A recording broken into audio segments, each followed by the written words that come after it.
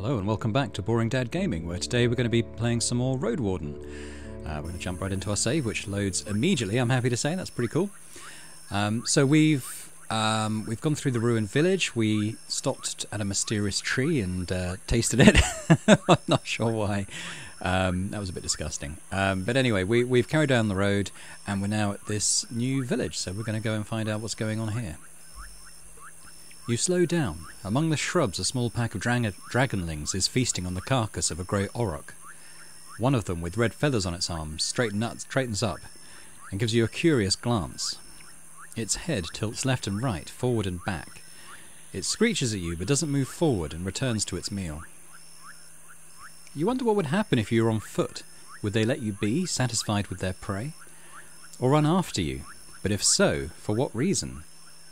For now you have enough space to move forward yet stay safe.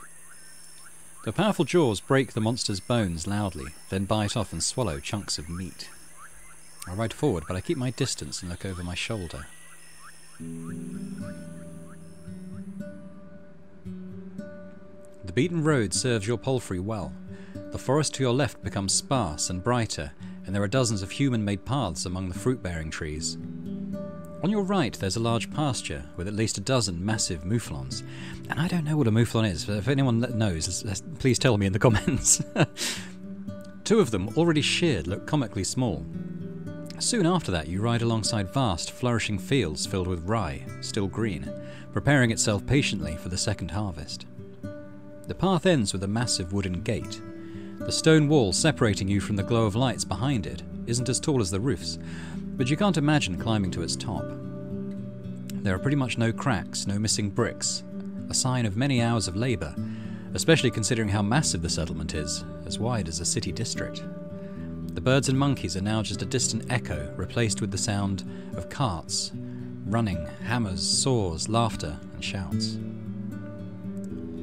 Um, finally, maybe I can rest here. Is it getting on towards evening? So, our larger plan is to um, do, a, do a bit rest and then go back to the ruined village where we're going to meet up with um, that crazy old codger. I can't. I don't. I don't know if he even told us his name, but uh, we're going to escort him then to back to the inn and hopefully get paid for it.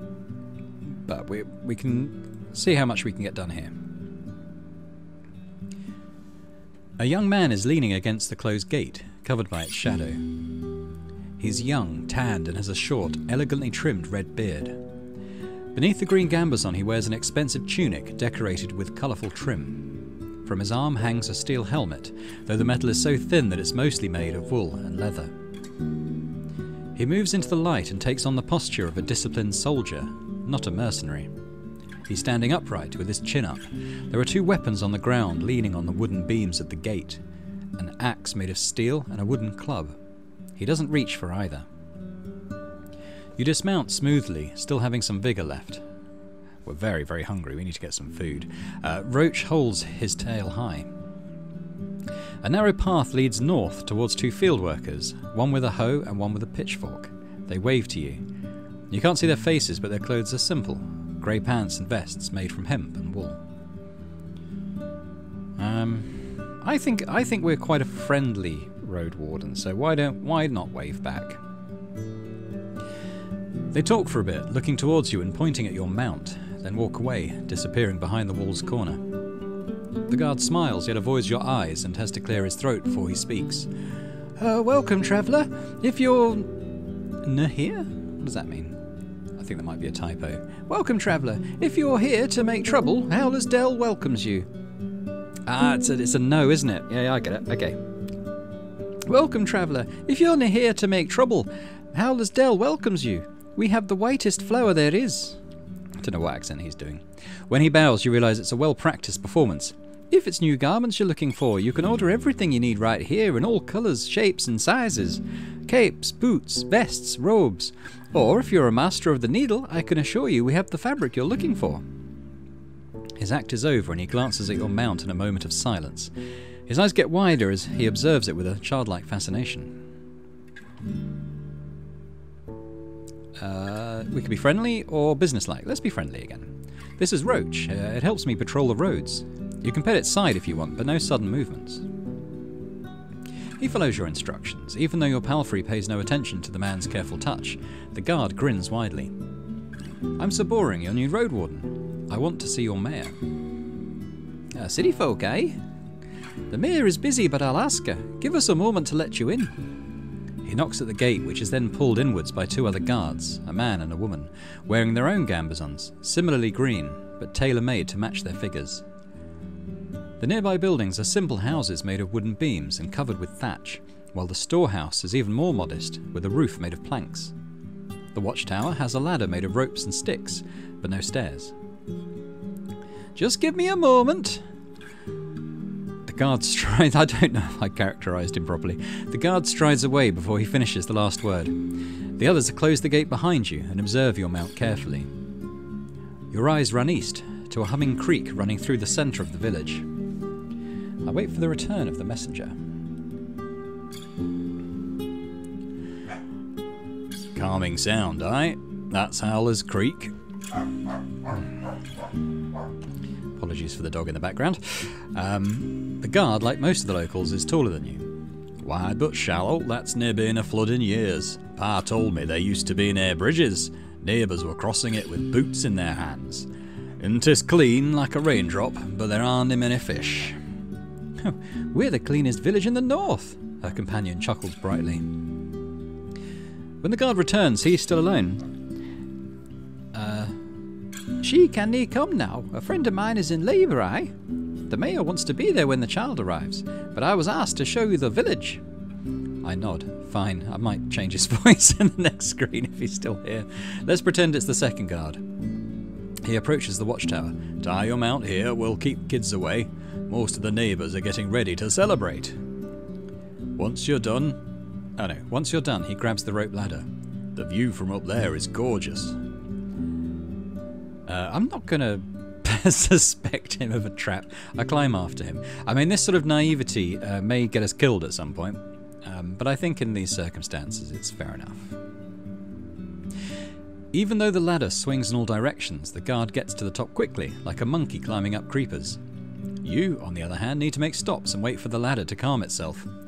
When you join the man on the wooden platform, you're a bit dizzy. He's leaning on the wooden parapet, observing the area with a smile. Look around. See, there's no place like Howler's Dell. The guard points in every direction, giving you no time to contemplate. The next few minutes, he describes the fields and their crops, the flocks in the pastures, and the shepherds inspecting the fences. The ancient garden of trees and bushes, larger than the village itself the sunlight dancing on the stream to its own tune. If you are to believe everything he describes, this place has access to everything in abundance the sweetest honey, the most fragrant bread, the softest wool. In the beer, tis excellent. He sounds like a city merchant who's trying to sell an old house. What an annoying kid. Okay. what an annoying guard. Near Hovlavan, you could find five larger and richer settlements in less than two days. Uh, no wonder he's so proud. Why wouldn't he be? They've tamed this scrap of land. Well, yeah, why not? I mean, it's a fairly prosperous looking town compared to what we've seen so far, right? The islet in the middle connects both parts of the village. According to the man, the northern gate is hardly ever opened, as it leads nowhere, nowhere now. Near the eastern gate, there's the Ape Ale Inn, where you can find a bed and victuals. And there's there's the stall where Akakios rewards our work unless we annoy him with pointless talk. On the opposite side of the creek, there's another white house. It belongs to Bion, the best clothier in the north. The priests live in the southeast near the wall, but they do not talk to strangers. You also hear the hunter, about the hunter, the cooper, the fisher, the miller, the pie maker lives with his sister, the baker, the smith and her husband, the smith and her husband, the carpenter, live with their kids. Okay. Some complicated family trees going on there. Some of the larger buildings could accommodate two, maybe even three generations at once. There could be more than a hundred dwellers here.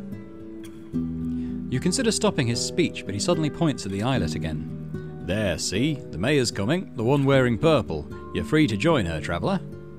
I nod and climb down. You try to get down quickly, but two steps are enough to make you sure that it's a bad idea. You wait for the ladder to find its balance, and you're relieved when you touch the ground again. You untie your palfrey and follow the guard. You pass a small pasturage surrounded by a wooden fence, a few loose chickens, and a tethered boar. The fancier buildings are covered with whitewash coating, surrounded with vegetables, herbs, and flowers. The bridges are wide enough to carry even a wagon, but for Roach walking on the wooden beams is far from pleasant. The islet is empty, but you notice an empty stall painted with the shapes of colourful flowers. I walk over the second bridge, so yeah, so we've crossed over to there, I think. Along the entire path, you notice more and more people observing you, smiling, or, or casually greeting you as they're focused on their own tasks.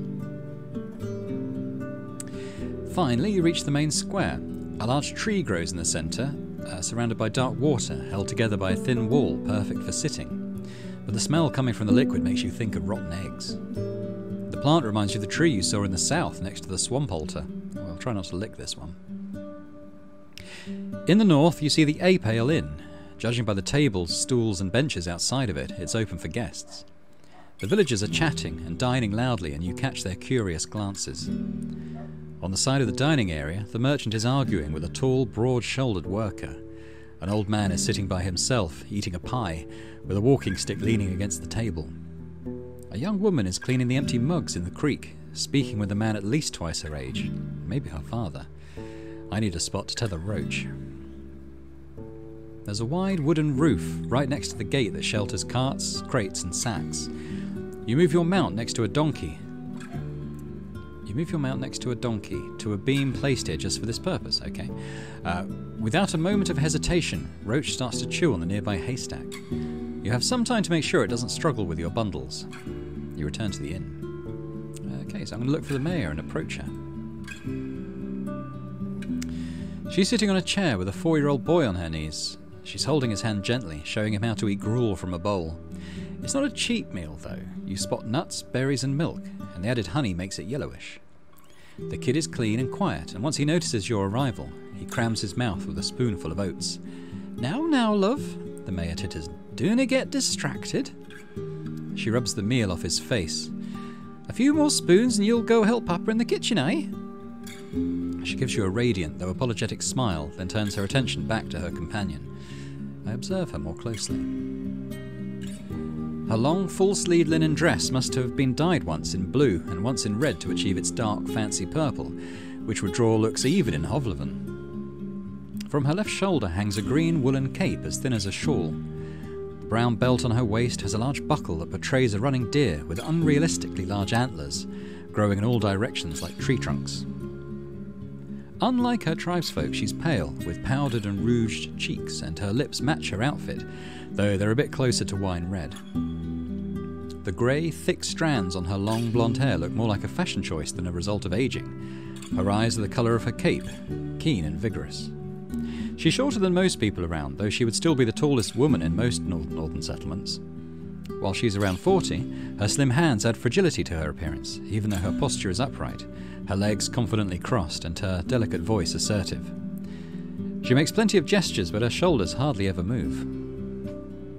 Um, I think we should probably show some respect, so let's uh, wait for as long as it takes. After a few more minutes, the boy lets out a gentle cough, and after a pat on the back, the mayor puts him on the ground. You did a great job, love, but now I need to speak with our guest. Darling, she addresses one of the inn workers, a girl close to 15. Take him to father, will you? Her tone suddenly gets firmer, leaving no hint of a question or suggestion. Yes, Ma, she responds. Both her hair and her eyes are nothing like those of her brother, and neither of the kids resemble their mother. So we have a road warden again. Please sit down. She shows you vaguely the palm of her open hand, letting you pick any place you want. Okay, so we could choose to sit next to her as a guest or opposite her as a tray partner. I'm going to sit opposite her. You have a good look at the inn's front door, leading to a cellar like ground floor. It's dark, with crates and barrels covered with fruits, nuts, and vegetables. The actual inn is upstairs, but the only people who go in or out are the workers, most of whom are teenagers. The mayor observes your outfit carefully, maintaining a polite though cool smile. Once your eyes meet, she hardly ever looks away. I'm sure you're hungry. My husband will bring us something soon. Uh, I appreciate it. I'm not going to volunteer to pay if she's not asking for it. Don't mention it. Hunger makes me peevish, and the day is too nice for that. She taps her chest and looks at a flock of birds that fly above you loudly, heading south. As we're waiting, be so good as to help me understand something. Even if you're but a mercenary, I can't imagine a single reason for you to choose this realm for your wardening. Nis along after Asterion's disappearance. There's near glory or treasures to find here. Her pale fingers form a tent on her stomach, then clasp, leaving the forefingers pointing at you. You were sent here by the merchants. They want the peninsula.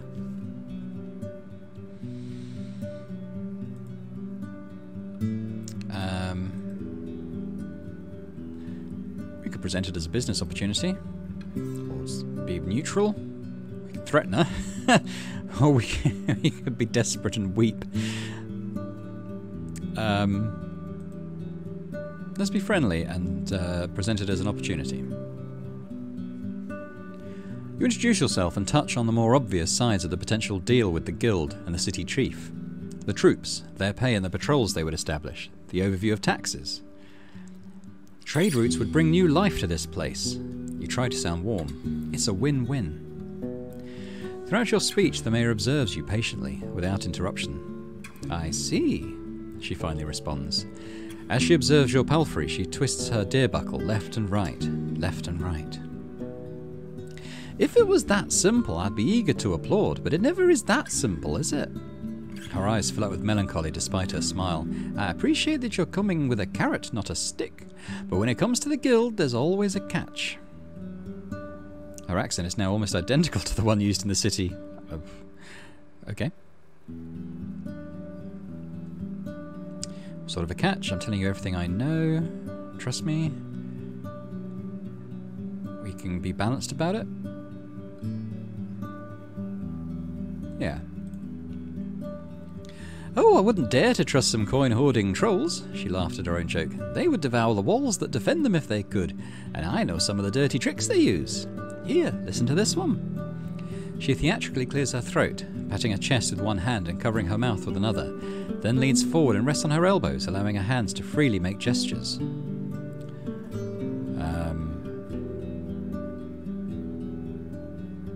She's pretending to be a different characters. I might just keep it as her voice. You make a deal with the settlement, flour and wool in exchange for coin and tools. You send the first traders, and they imply that you're ready for, to pay for more. More pay more for, let's say, parchment. Months later, you want no more rye, just the parchment and wool. We can't butcher any more mouflons, the locals say. Don't worry, you answer. We'll send you a small flock. Just turn a field of yours into a pasturage. As she pretends to be different characters, her voice comically shifts and she has no issue switching between accents, unlike me. Um, keep a straight face. She swings her hand above the uh, table. Another year goes by, and while there's more parchment, the village lacks some crops. The tribe needs not just tools and coins, a lot of coins, but also seeds, and the guild is not satisfied. Sending our wagons costs a lot, and there are more highwaymen now. If you want us to come again, you need more mouflons and to sell us their cheese. And guess what? she says with a haunting laugh. She straightens up and spreads her arm like someone a third her age. Turns out that the village can't say no anymore. They lack supplies, seeds, and land. They can't refuse.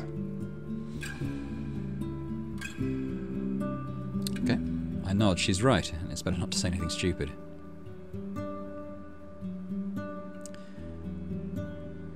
Um, yeah, she's she's right, maybe. The pause doesn't linger for long. I see we understand each other. Let's finish the introductions. I'm Thais, one of the keepers of the Ape Ale Inn and the mayor of Howler's Dell. I assume it would be convenient for you to take my answer back to Hovlavan. She wonders for a moment. Say, when could we expect the first caravan? After winter? That depends on what you can sell and what you want in return. While the conversation goes on, the food gets served. The refreshing aroma of roasted mutton, covered with a thick sauce made of mint, parsley, and honey, tempts you to bite in right away. The juices are sinking into the round trencher, a plate made of simple brown bread. There's also a small bowl filled with chopped red radishes and a sliced boiled egg, and a mug filled with cold buttermilk. Sounds quite nice. It's all brought by a few young people, all of them referring to the mayor as their mother. And in the end, the innkeeper shows himself shows up to wish you a good meal. He's wearing a clean orange tunic and a not so clean apron made of hemp. He politely introduces himself as Eryx, and after confirming you won't get sick from what he prepared, he leaves you and his wife to your conversation. Thais tears the meat into smaller pieces, then eats slowly, often expressing her enjoyment with a hum. Meanwhile, we get to the important stuff.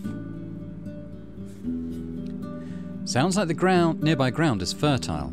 The village would gladly pay its taxes in grain and vegetables, with the expectation that a squad of soldiers would provide additional protection. Our youth is strong, she claims proudly, so we don't need your guards on our walls. But a lone road warden won't keep the roads passable. We need fighters willing to patrol the paths, maybe even the heart of the woods. That's what we'd expect in return. You're not an expert when it comes to linen, cheese, and wool, so the mayor spends a good couple of minutes describing the outstanding quality of what the village has to offer, especially the clothes, which are meant to be as unique as those made by Master Crispus. You recognise vaguely the name of this tailor shoemaker, but you've never earned enough money to pay him for as much as a single sleeve. And of course, we will never reject some steel and bronze. We lack alloys for sickles and scythes. She then repeats her question about starting a trade route. Uh, truth be told, the guild is not sure what the peninsula has to offer. It's going to take more than your village to convince them. Understandable, but you won't find much in the other tribes. They have barely enough to survive, even after they trade for our crops. For we have the only decent soil in this realm. At least the people of Gale Rocks have salt and barrels of fish, while Creek sells meat and wood. Actually, if you haven't been in Creeks yet, the farthest village in the northeast, you could give them a chance. She nods with a smile. They could use your help keeping their roads safe. White Marshes, on the other hand, as well as Old Pagos, are close to worthless. For a trade route, that is. She clears her throat. After these words, she stands up, walks to another table, and offers her trencher to an elderly man who sits there by himself. With a trembling voice, he thanks her, then starts to chew on the soggy bread. She sits down, wipes her hand into a clean cloth, adjusts the fold of her cape, and once again crosses her legs. So, tell me, Sir Boring, how's Hovlavan? I haven't gathered much news since the invasion. Uh, things stay humble but start to look brighter. Sometimes better, sometimes worse. It's far from great. Um, I think we take the middle path, perhaps. And I was afraid it was lost to hunger. Her chuckle is trimmed with scorn. Good to know I was wrong. When the invasion started, some merchants were cheering in their houses, happy that they would sell out all the blades and food they'd stored. Can you believe it? This panic will make us rich.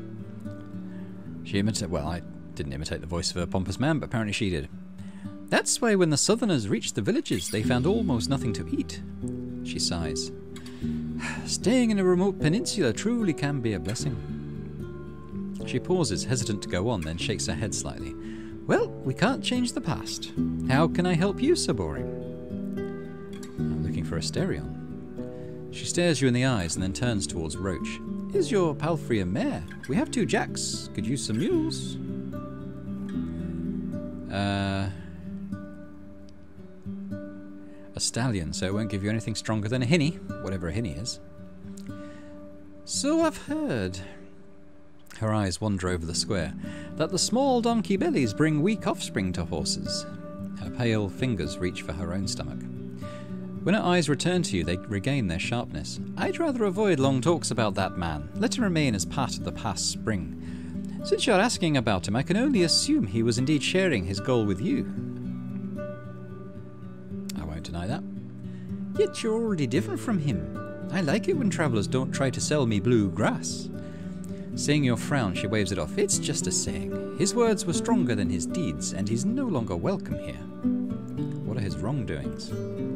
If you have to know, he failed and won't get a second chance. He was meant to escort Egidia, a daughter of mine, to her betrothed in the Gale Rocks. She was a great archeress, and the road from here to the coast is not that dangerous. When they saw goblins on the road, Asterion ordered her to push through, right into their trap. She touches her deer shaped buckle. They got jumped like a bunch of wealthy pilgrims. A road warden worth their gruel should know better. He can fight with a blade, but my girl, she never had a chance. She sighs and looks at the gate. He disappeared soon after his pitiful attempt at apologizing to me, and we closed our doors behind him for good. I'll let you know if he ever tries to return. Did you ever find your daughter? For a few breaths, her green eyes seek something in your face. Her words are careful yet hesitant. She's with the fogs now. The goblins were after food, so they carried her shell away. One day she's going to charge at our walls, awoken and empty. Even though she was a bit mawkish, her heart was strong and patient. She listened to people, was ready to help them and to cry with them. I could tell you stories, but for what? Let the dead rest. Where I can look for him? She adjusts her cape with an annoyed shrug. Try asking for him in the north. He spent most of his time between White Marshes, Gale Rocks, and Creeks. Here, he wasn't that eager to share his plans. Uh, thanks for the help. I wonder, back in Hovlavan, have you spent any time on Backwood Corner? It used to be this dark, dirty alley with muggers working even in daylight. I stayed there with Octavia, the miller, in exchange for doing chores for her. She had this small wooden hut. See, I don't know what's true. None of these suggest I'm lying. Maybe I can make it true by what I say. Um,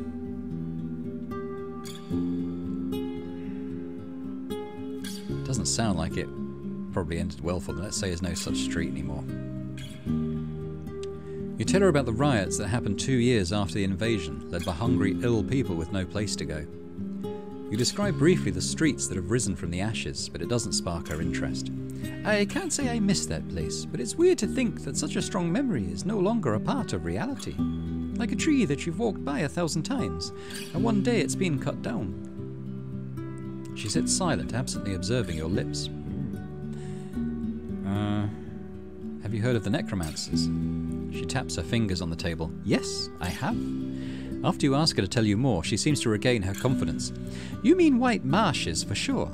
I don't know all that much about what's happening there. We avoid their lands if we can. She frowns. I shouldn't gossip about it with strangers. Uh, we can talk about it on another occasion. I was in the ruined village south of here. Her tense gaze shifts into an awkward click of her tongue as she leans away from you. I don't even want to think about their tragic fate. No one can negotiate with the wrath of the herds. A long pause. And I better not find you upsetting my neighbours with these said questions. Sad questions. It was a challenging time for all of us, a wound we won't forget.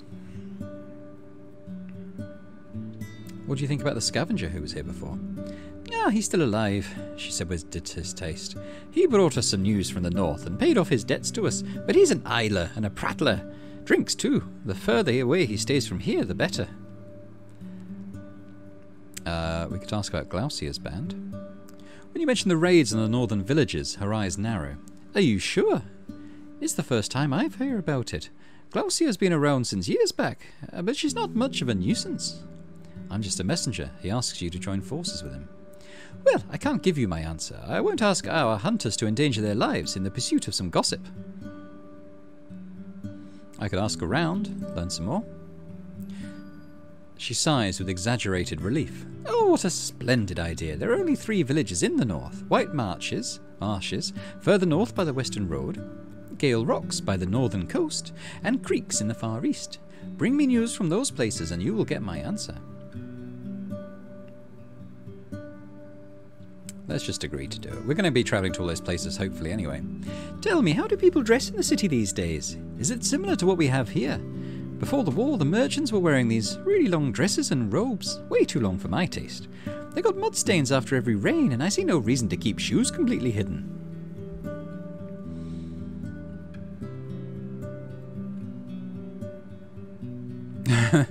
um, we could say uh, there's a shortage of fabric. Sounds like there probably is. Most people wear tunics like the old days. At least we can hope that if the visitors arrive, we won't stand out much. She laughs, but also adjusts her dress, drawing your attention to its superb quality. And who knows, maybe our little village here is going to help those unfortunate clothiers. I'm sure we could spare a couple of sheets of fabric. I saw a weird tree south of here with the altar. She straightens and up and raises her chin. You mean Beholder, the guardian spirit of our wetlands? Every fall we bring it our gifts, and in return it provides us with its blessed fruit, the flesh of the forest. She stares into your eyes.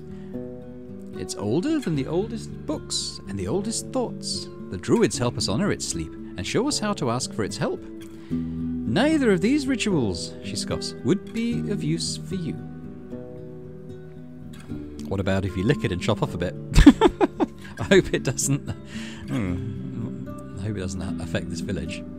Um, what's your secret? She reaches for her buckle and her voice grows cold. There's no secret, traveller. There's hard work, risks, and sacrifices, and the support of those that care about me. The good things that happen to me shine on my people just as much. Think about it before you mention it again. She adjusts her cape. Uh, well, tell me about your village. It is what it seems like the greatest village in the far north. She raises her hand and makes an inviting gesture, though I hope to still improve this and that. She winks at you, but it is suddenly interrupted uh, by the pained cry of a little boy who hurt his knee during a fall. As an amused elder tries to calm him down, the mayor shrugs it off and titters, and then meets your eyes again. Life's good here.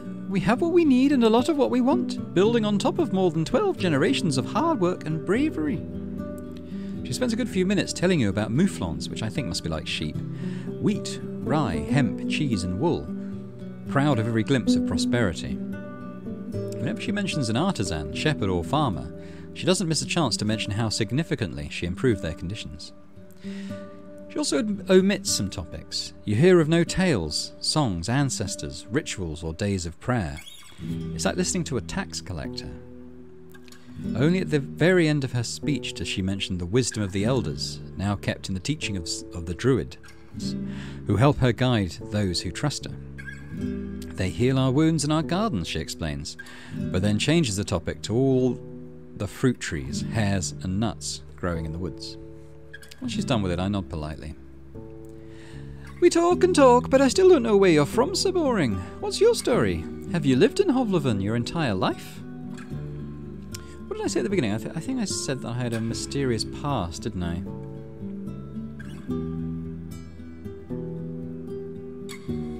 Maybe we should continue. My past is buried. Let's not dig into it. After a few heartbeats, she breaks the awkwardness with a smile.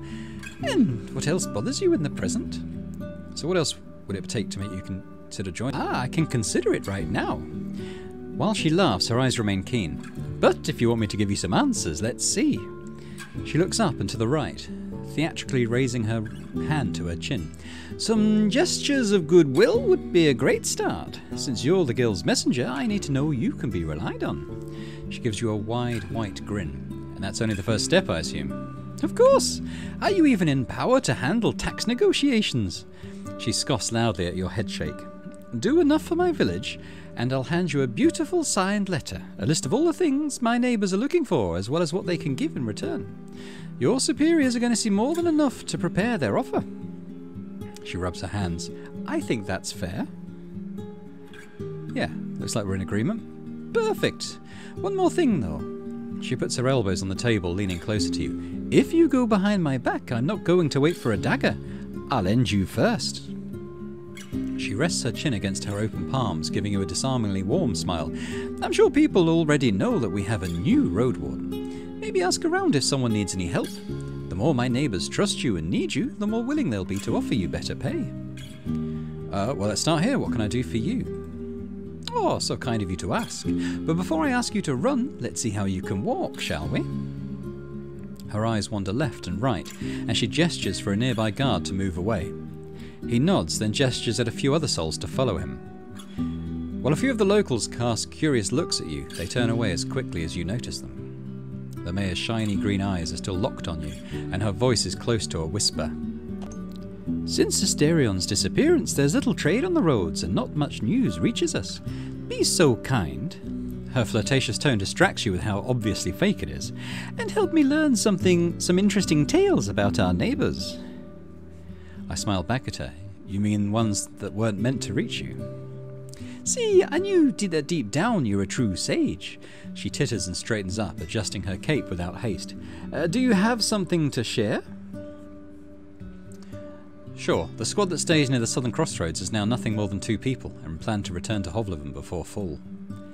Since they cleared that camp of brigands, they went so quiet I almost forgot about them. She rubs her chin with her thumb. I'm surprised they've managed to stay alive till this day. Sending such an inexperienced group here shows that the officials misjudge this land. That's all I have to say. I keep thinking, surely city folk don't just eat wild game, salt fish, and groats. What animals do people breed in the nearby villages? Um,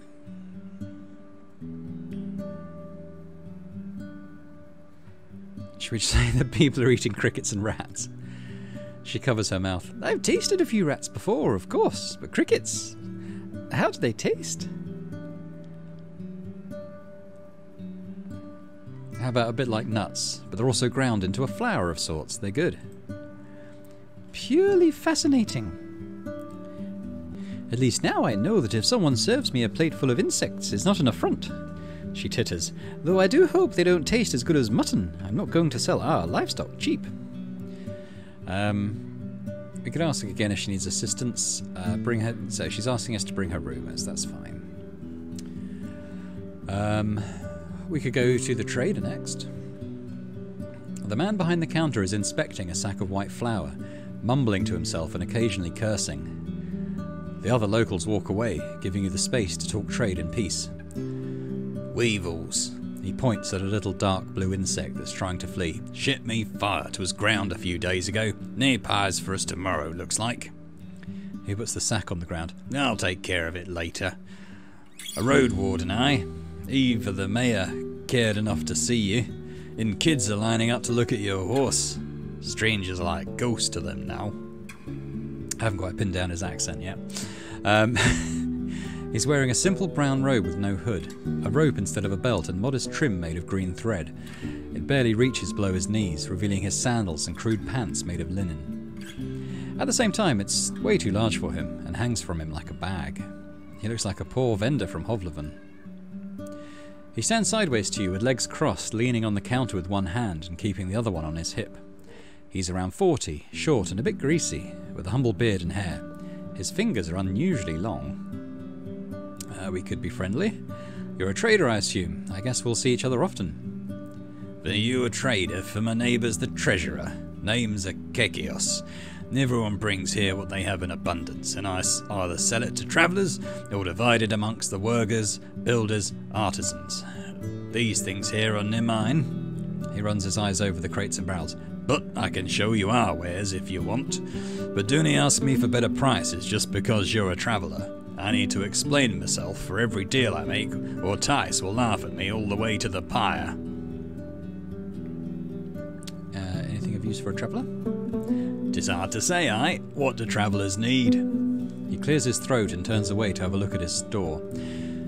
While some of the crates and barrels are empty, they carry an assortment of odds and ends tools made of wood and stone, pots, mugs, seeds, vegetables, fabric. It takes him a few minutes to look through the wares. He puts three packages on the countertop as he unwraps, and as he unwraps the first one, you re- recognize what it is by the shape alone. Tell me this is near beauty. He chuckles and lets you hold the shiny battle axe. The haft is long, but the head is light. I know what you're thinking. Your eyes say everything. He praises the weapon loudly, but you barely listen to him. You see your reflection in the unused blade, as sharp as they get. You're not a smith, but you see not a spot of rust.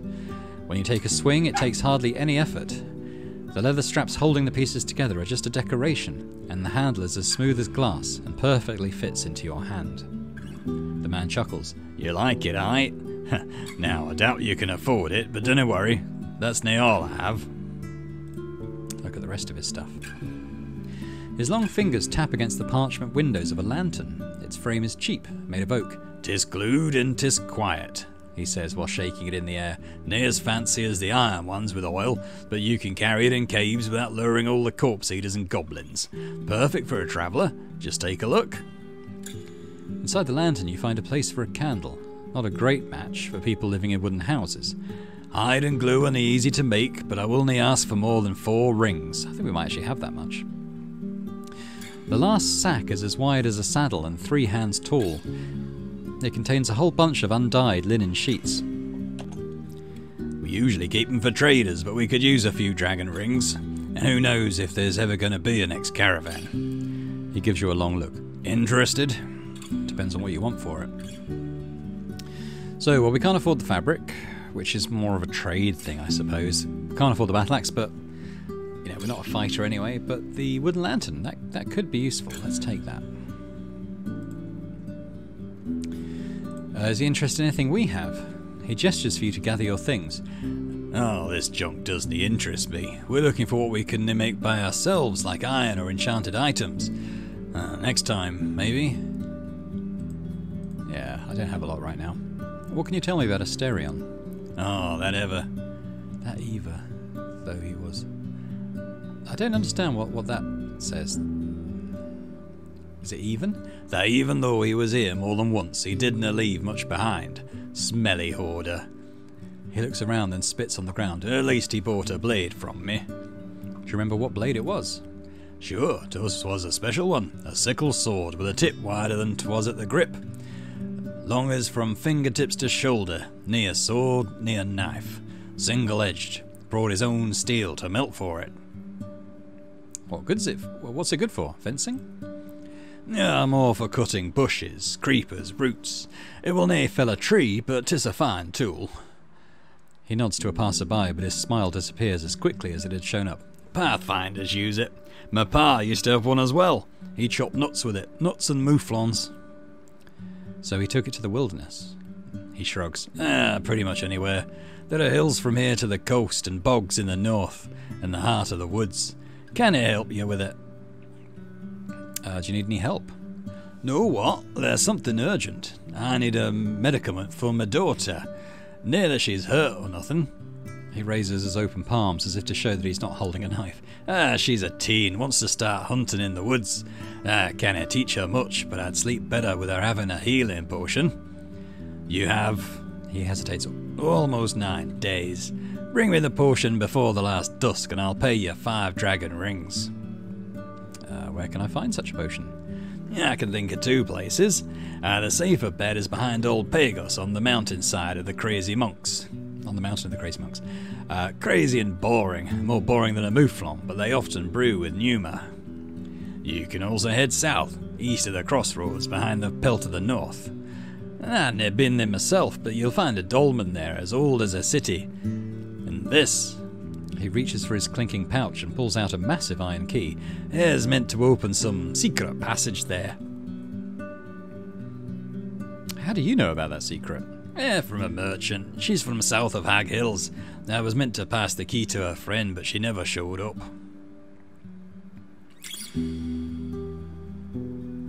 We could point out that a strong elixir would be worth more than five coins. Well, now, 'tis all I can pay.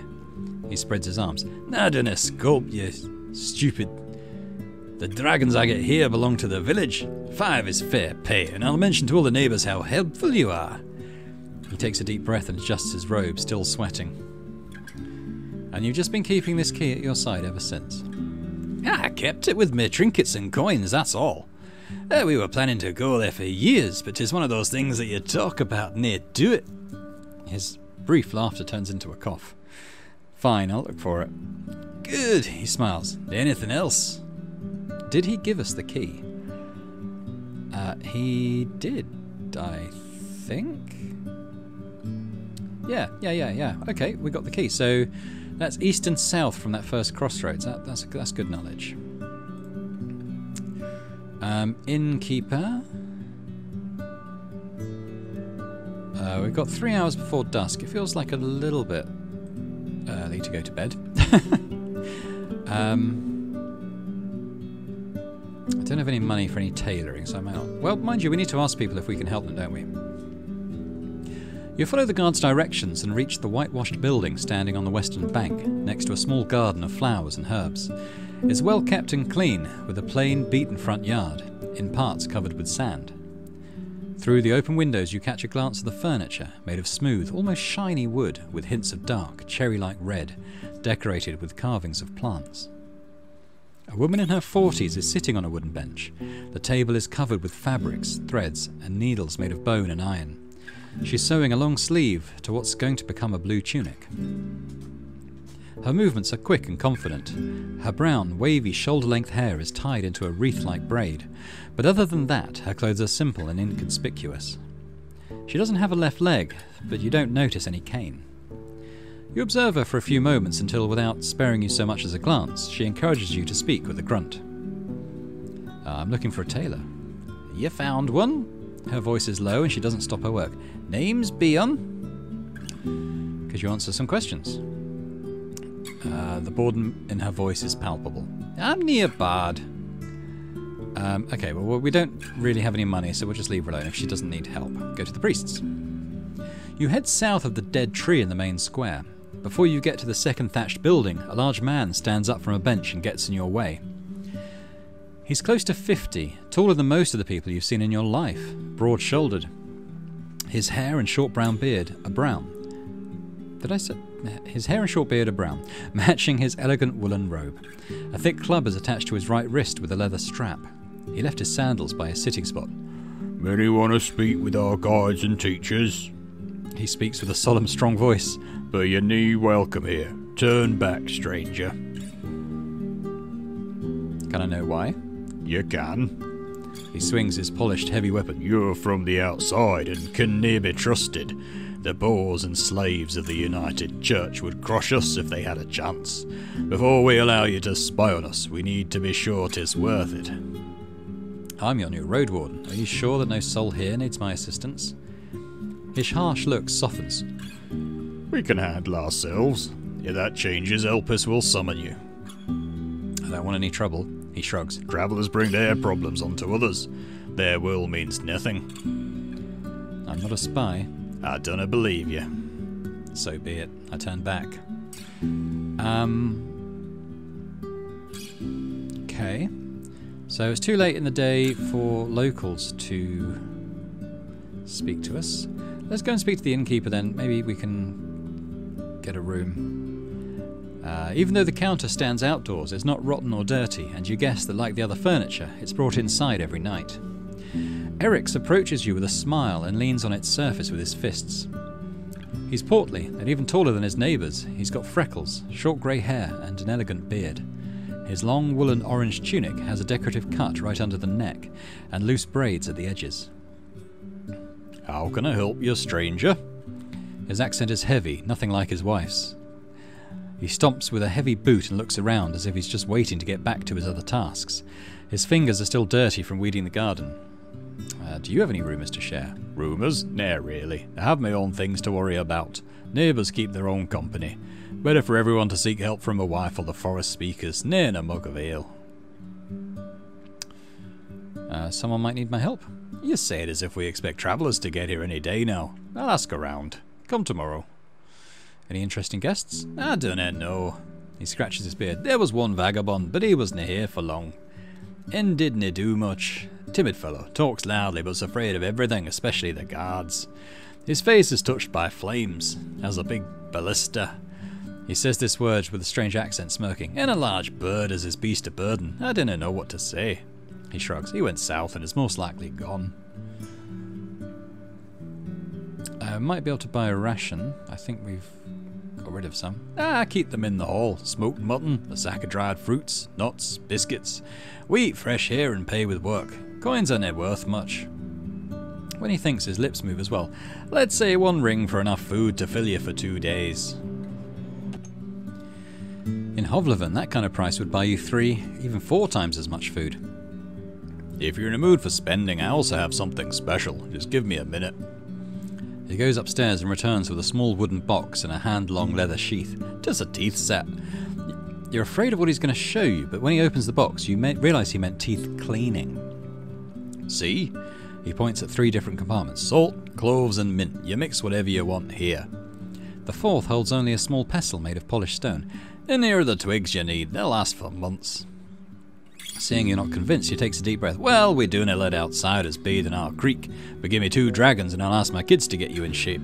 You'll get a tub with soap and rose oil, and they'll wash your clothes in water. I'll cook you something nice, as much as you can eat. Unfortunately, I don't have that much.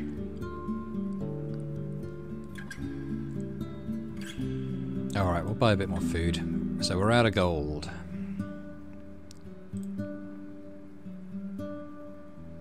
I could use a room, hopefully free. Uh, it's getting late, better look for a safe place to sleep. Well, I think I've just done that. Ah, sure thing, he nods. My kids keep it cleaner than you'd find in the city. Just tell me when you're ready. Thanks. Alright, so we're going to sleep, and what can we do? Okay, well, we can't rent anything, we spent all our money. Um, so, sleeping on a mouflon pelt. There's a lot of noise outside, and you can sense a heavy, unpleasant smell coming from the cauldron. At least the fur is fluffy, and you can cover yourself with your blanket. So we're going to uh, recharge some magic by the look of it. Uh, so plus magic, minus food, minus cleanliness. Um, okay, well, not much we can do about that. Your first sleep ends, but your usual one hour break is instantly disrupted by noise. You stand up, walk to the window, and see the reason for the commotion. A group of workers is just outside the inn, drinking and laughing. Eryx the innkeeper is also among them. You could join them, but if you do so, you won't get a good sleep tonight, and after such a long day, you may end up exhausted.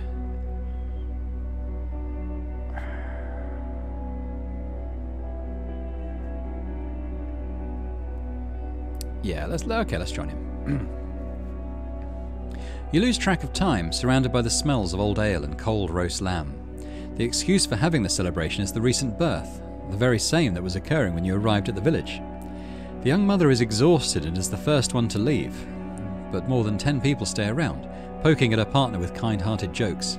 Use the next week the best you can, says one of them. Near sleep for you after that. You may be a stranger, but your presence is welcomed with joy. The small talk is just as engaging as you'd expect from people who have already slept for three to four hours today, but there's something pleasant about them sharing their parenthood stories and plans for the future. The humming of Howler's Creek and the lights in the dark make you feel as if you belong here, and that's a delightful illusion, especially in a group of strangers. At one point, you're asked about your own journeys, though you prefer to keep most of them to yourself. One of the hunters encourages you strongly to travel to creeks. Ah, they're a fun bunch, you see. They love to meet new people, but be ready to wake up with a spinning head. I'm one of the first people to go back to bed. Creeks is the village in the Far East, isn't it, that we were told about? Okay, it's warm here, but the mouflon skin allows your back to rest a bit.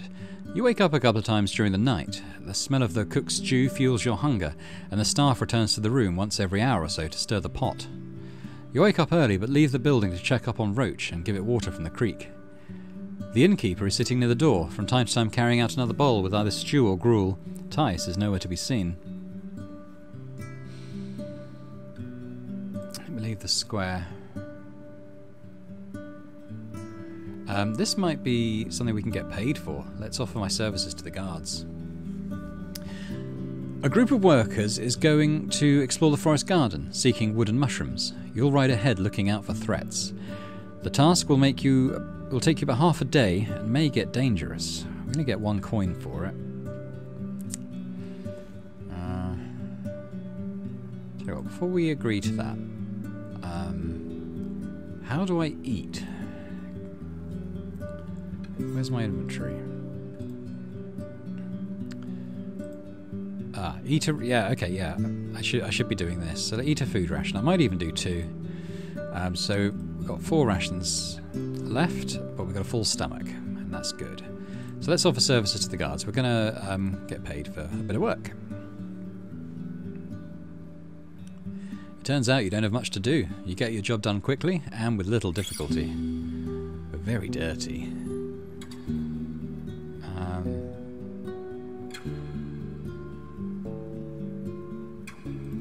Can we just use our soap? um, where is it? Oh wow, did we use it already? I thought we'd have it for a little while. I guess it's used up. It's a shame, we're extremely dirty. Well, I think what we'll do you can see we made a little bit of progress today. I think what we're going to do is we're going to travel back down to the ruins here. I think if we click on it, we might even go directly there. And then we'll escort the scavenger to the Pelt to the north. And from there, we're going to head east and south and get to that dolmen where there might be uh, a secret place to get in and get the healing potion uh, for Howler's Dell. The, uh, the trader there, who'll give us uh, some money. And then from there, I think we'll you know head off either west or north. Uh, but we'll leave that for the next episode. And so we're going to leave it here for today. I hope you enjoyed this. Thanks very much for watching. Uh, if you didn't enjoy it, then please do hit the like button on the video and subscribe to the channel as well. That'd be amazing. And in the meantime, I hope to see you again for more Roadwarden. Bye for now.